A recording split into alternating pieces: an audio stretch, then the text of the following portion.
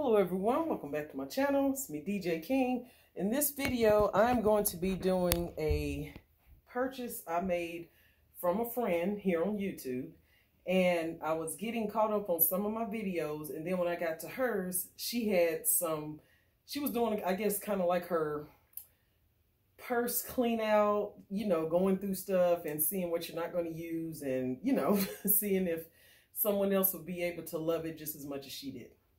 Well, to go back to a few years ago, I had a mishap with one of my bags and I knew I was going into the outlet to either find a replacement or just to get another bag, whichever happened. and I ended up picking up this item here. This is the Dooney & Bourke Saffiano Cooper. And this probably was maybe 2018, I want to say. It's been a few years ago. So this is when Cooper was still hot and heavy, and it was my first time seeing one in person. They had the Saffiano and the Florentine versions, but the Florentine ones were like scratched up and they didn't have any in the back. And the Saffiano caught my eye because the colors always pull up vibrant and rich and saturated. So at the time, I did not have, I want to say, any gray bags in my collection. So I was like, well, you know what? Let me just start working on that. So I picked up the Cooper. I was able to grab this one, and this is in the color, I want to say it's called smoke gray. So it's not like a dark charcoal. It's not a light, light gray. It's kind of like in between. So I'm hoping it's showing up true to color, and it's definitely gray. And I don't know if I can, that'll help a little bit. But it's definitely gray, and this is in Saffiano. So this bag is, we'll just say from 2018 and I've had it that long. It's Saffiano, so wear and tear I'm not concerned about.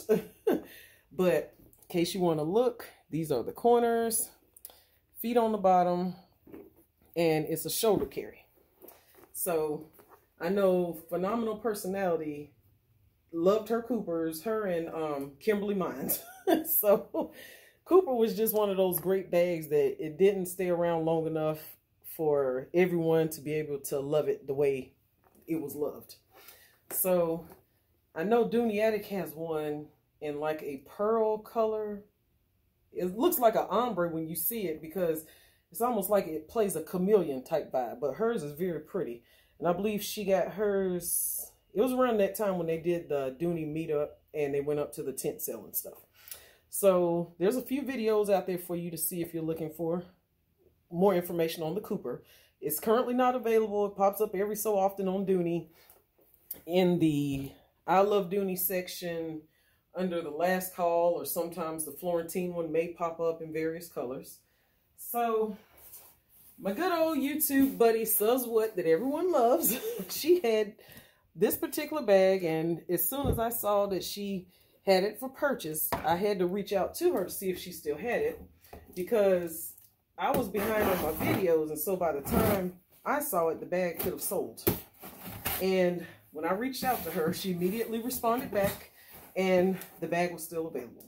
So I didn't even finish watching the video at that time. I paused it, said, okay, how do I pay you? I knew Suz keeps her bags in immaculate condition, had no question or concerns. And I'm opening this up backwards because mine and her information is still on the front. so I'm trying to cut my way around here. So this is how it arrived. And oh boy, can you send some of your packing tips to Dooney and Bourke? she has the bubble wrap around it in the dust cover and the little pockets over here. Thank you, Suz. but here we go. Like I say, I didn't have to ask what type of conditioner or nothing because we've all seen Suz What channel and when she shows her bags, each one of them looks like it's brand new. She has an amazing collection that she has shown us bags and we're like, oh man, seeing her with that bag now, see how I have paired it with this. And So she has a little note here. Hey there, thank you very much. I hope you love it. It is a beauty. Peace and love, Suz.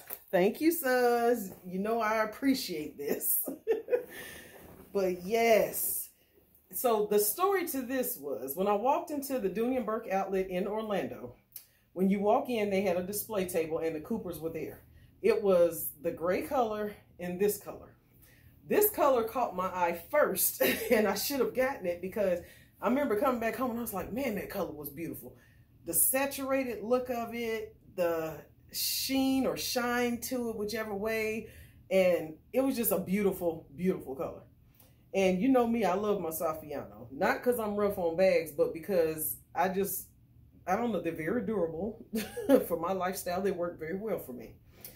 And this color here, man, I even tried to catch it. It popped up on the site and it was one of those deals where you purchase it and then it went to, it wasn't even available. It wasn't even on back order. So my order was canceled.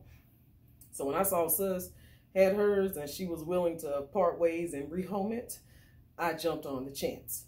So the bag and the color I'm talking about is no other than another Cooper, but in the color cranberry. Y'all, this color is showing up true to color. It is beautiful. It is absolutely beautiful. So as you can see why it caught my eye. But at the time, I had Bordeaux in my collection. I had several red bags and I was like, you know what? I didn't need this color at the time, I thought, but I was happy with the gray one. It was my first Cooper, first time going into Dooney and Bourke outlet in Orlando. So it was still a whole pleasurable experience. But I kept thinking about this bag even up until I was able to get it from Suz. I've always thought about this bag. so the color is cranberry. And as you can see how rich it looks on screen, that's how it looks in person. The color cranberry is just beautiful. It's like a dark berry, well, hence cranberry, a dark berry color. so it's really, really gorgeous. And I wish I knew where my Coach Barry Nolita or Barry Wristlet was because it would pair well with this, but I'm gonna have to find that. but this is the Cooper, and Cooper was one of those ones where you either loved it or hated it because the features of it, you had this front pocket here that pretty much everyone enjoyed. This is one pocket here, zips up. And so this is another pocket. I can put my hand in, my hands are not touching. The pockets kind of overlap. So this hand here is here, and then my other one is up under it. So the pocket goes all the way across on both sides. So you have two separate pockets. It's a very different style design, but if you love Cooper, you love that feature. Phone fit in there, um, card case or something small would fit in there. You had feet on the bottom. The gold tone hardware on here is just amazing on this color. And again, on my gray, yes, this one is not stuffed because I had it, I took everything out and then I had it flat. Suz has hers stuffed and this is probably how she keeps hers on the shelf. I am going to stuff this one back again, but as you can see, this one is probably about five years old, so mine looks way different than Suz. Her stuff could be older than mine and hers looks amazing. but the same bag, just two different colors. I am so happy to have this now in my collection. It's a forever bag. The shoulder strap is adjustable, but we all know how that goes. It's like an act of Congress trying to adjust it. I have never attempted that, and I will not be. The one qualm about this bag that some people may or may not like is that it did not zip. It had a snap closure,